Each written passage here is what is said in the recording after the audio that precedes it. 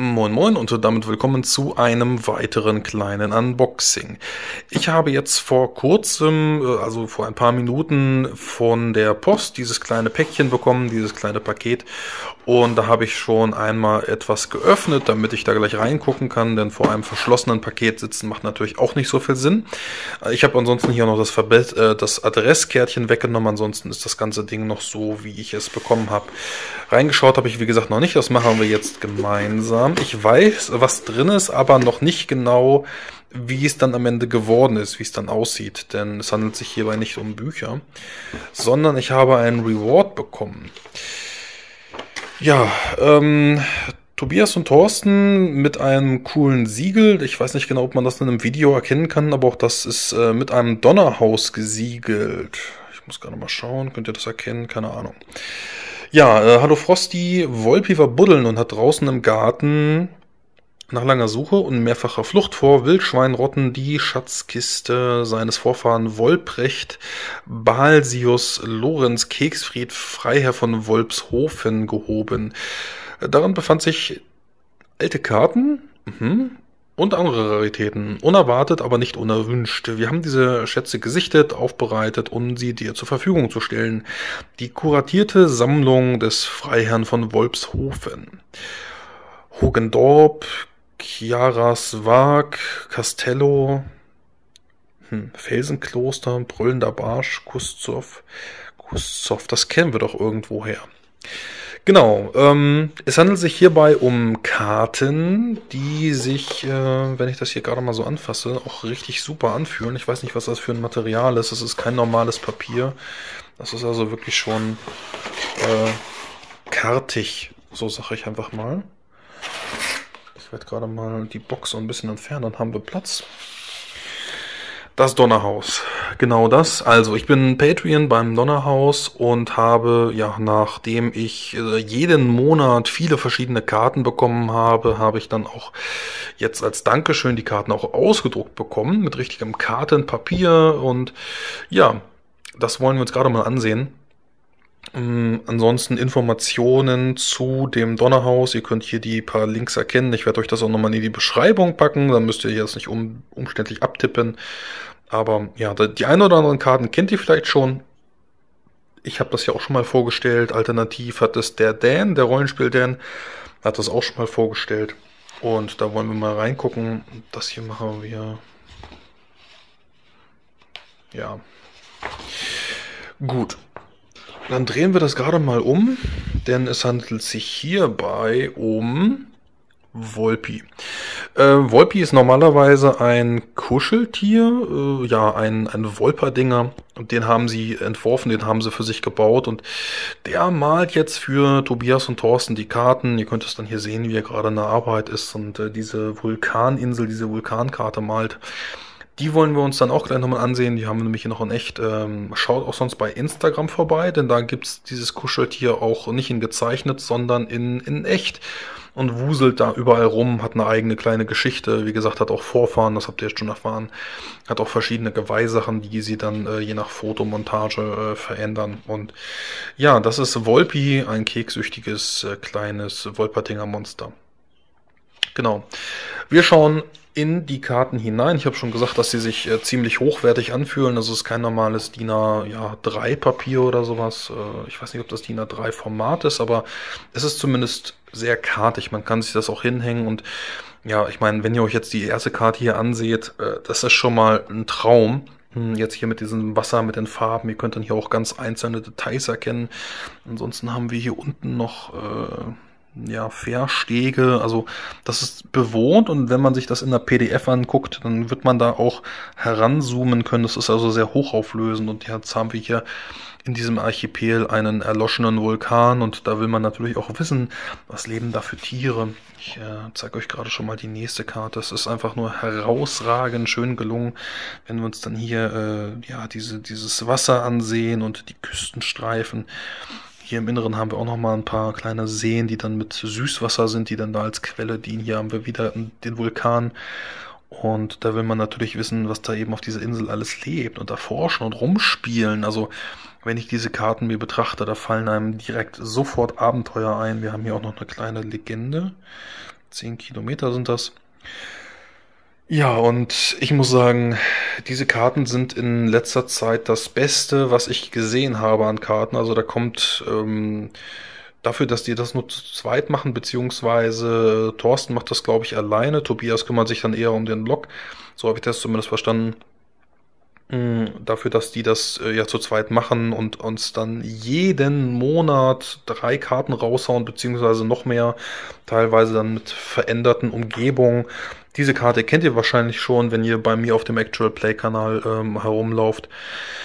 Ähm, also die verändern sich. Man kann das Ganze dann eben auch noch in, in äh, vollem, äh, ja, in voller Blüte erblicken, wo es dann nicht angezündet ist oder eben dann auch die Ruinenstädte, wenn das dann hier noch so ein bisschen rauchig ist und Trümmerteile rumliegen. Wie gesagt, die Karte habe ich schon benutzt. Da haben wir dann den Seelensammler das erste Mal entdeckt. Die Karte wird uns vielleicht auch noch ein weiteres Mal begegnen. Aber ja, ähm, diese Karten regen mich einfach unglaublich zum, zum Kreativwerden an, zum Rollenspielen und dann will ich hier irgendwie kleine Räuberbanden oder sowas in den Wald setzen und dann hier kämpfen oder einfach nur irgendwelche Bewohner dann hier oben in dieses Bauernhaus setzen, was auch immer das dann für eine Familie ist, hier noch mit dem kleinen Garten, also unglaublich liebevoll. Äh, hier haben wir dann auch noch so eine kleine Ruine, was auch immer das für ein Türmchen war oder ist.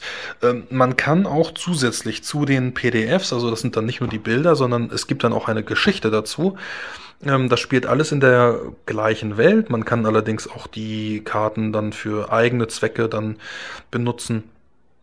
Aber wer wissen will, wer dann in diesem äh, ja, Haus wohnt, weil am nichts einfällt oder was das hier für ein Turm ist, der kann sich dann eben auch äh, bei den zugehörigen PDFs kann er sich dann auch noch Infos abholen. Äh, da werden eben Vorschläge gemacht. Ja, ansonsten haben wir hier noch eine Felsenburg oder ein Kloster. Hier haben wir es mal in lila mit lila Dach. Hier haben wir es dann in Gold. Und wenn wir uns dann, genau das habe ich gerade eben schon gesehen, wenn wir uns dann die nächste Karte angucken, dann ist das Ganze eben nicht mehr lila, ähm, sondern mit Steingrau, Eisenfarben, Silber, ja, was auch immer. Ähm, wofür auch immer man dann diese eine Version benutzt oder dann die goldene Version mit den lilanen äh, Türmchen. Das ist quasi genau die gleiche Karte, nur mit einem anderen Farblayer und da kann man dann kreativ werden, kann sich dann selbst überlegen, welche der Karten ich benutze. Auch hier nochmal ähm, Augen auf die, auf diese Küstenstreifen, auf dieses Wasser, auf diese Klippen. Und da will man dann natürlich auch so seine Abenteuer erleben. Das ist jetzt nochmal, ja genau, das ist nochmal das gleiche. Da haben wir es auch nochmal ein bisschen veränderter Farbgebung. Müsste jetzt nochmal auf die einzelnen Details achten, ob sich da auch noch irgendwas in den Gärten getan hat oder so.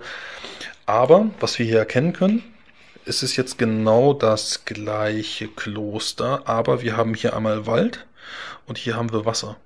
Das heißt, wenn ich meine Felsenburg, mein Felsenkloster nicht auf einer Insel haben will, sondern ich will es irgendwo in, in einen Wald heransetzen, dann kann ich das eben auch machen. Und allein diese Ideen, äh, man kann da auch sehr viel Einfluss drauf nehmen. Also jetzt, äh, das ist nochmal das gleiche, dann haben wir das einmal in Gold mit Wald und in Gold mit Wasser.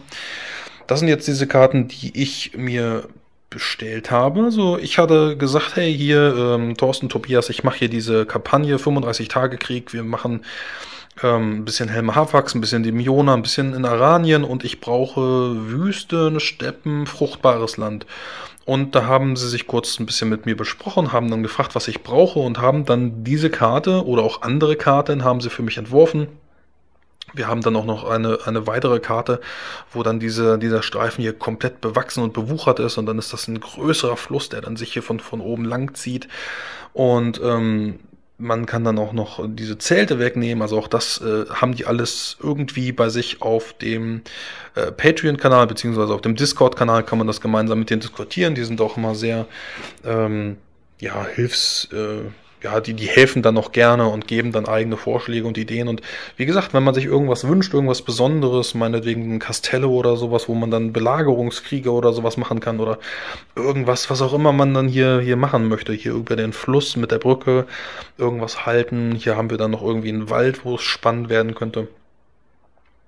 Ja, und ihr könnt euch Karten wünschen, wenn ihr bei Patreon mitmacht, äh, könnt ihr dann selber so ein bisschen Einfluss drauf nehmen. Ich habe das, wie gesagt, selber schon mehrfach jetzt gemacht und bin sehr, sehr zufrieden mit dem Output, den sie haben. Ähm, ja, wie gesagt, seht ihr den auch in den Actual Plays, dass ich diese Karten dann verwende, dass ich die benutze und ich kann euch einfach nur dazu ermutigen, auch einmal äh, zumindest auf den Blog zu gucken, auf die Homepage. Ähm, wie gesagt, verlinke ich. Und wenn ihr mit dabei sein wollt bei Patreon, beim Donnerhaus, ist es unbezahlte Werbung, kriegt da nichts für. Diese Karten habe ich so oder so bekommen, einfach weil ich Patreon bin. Das kriegt jeder. Also äh, jeder, der mit, ich glaube, 6 Euro oder mehr dabei war, ähm, die haben jetzt diese Karten bekommen. Da haben sie, ich glaube, äh, 15 oder 20 Boxen oder sowas verschickt. Da haben sie auch ganz viele Fotos gemacht und ähm, wie gesagt, äh, was ich noch empfehlen kann, ist, neben diesen Karten schaut bei Instagram vorbei, bei Volpi. Das Ding ist nämlich echt süß. Ja, ähm, ansonsten, das war das kleine Paketchen, dieses kleine Päckchen, was ich bekommen habe und ich werde mir das sicherlich einrahmen und damit auch spielen. Also man kann dann ja sicherlich auch sehr gut irgendwelche kleinen Mensch ärger dich Figuren oder sowas nehmen, dann kann man die hier draufstellen und dann mit verschiedenen Farben arbeiten oder irgendwelche anderen Token-Plättchen oder sowas benutzen. Und das muss man eben, ja, kann man eigentlich für, für jedes System benutzen. Müssen wir mal schauen, ob wir dann irgendwann im weiteren Verlauf Fantasy-Karten haben wir schon bekommen, ob wir Science-Fiction-Karten bekommen oder sowas oder irgendwie, weiß ich nicht, Western oder so. Müssen mal gucken. Äh, also wir können da selbst drauf Einfluss nehmen und dann kriegen wir vielleicht demnächst auch nochmal Science-Fiction oder sowas. Das fehlt zumindest noch. Ja, das war so mein kleines Unboxing, mein kleines Video. Ich werde mir das jetzt hier alles äh, einrahmen und dann ja irgendwo in meinem Zimmer aufhängen oder einlaminieren, damit die Karten nicht kaputt gehen. Ich bedanke mich auf alle Fälle beim Donnerhaus für die Karten und auch jetzt für dieses Paket. Ganz recht herzlichen Dank. Damit sage ich Tschüss. Ich hoffe, es hat euch gefallen. Und wir sehen uns beim nächsten Mal wieder. Äh, schaut in die Beschreibung rein. Bis dann. Ciao.